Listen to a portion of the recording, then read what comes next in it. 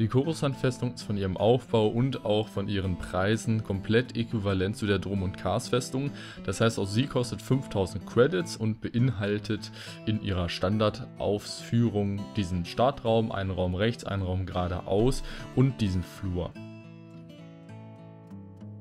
Von dort aus geht es gerade in die Garage, auch die kostet 250.000 Credits.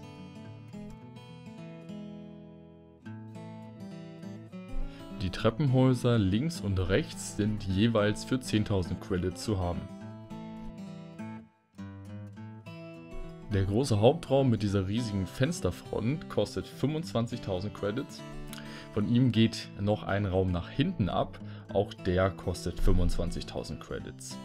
In dem haben wir jetzt wiederum drei abgehende kleinere Räume, die jeweils 40.000 Credits kosten.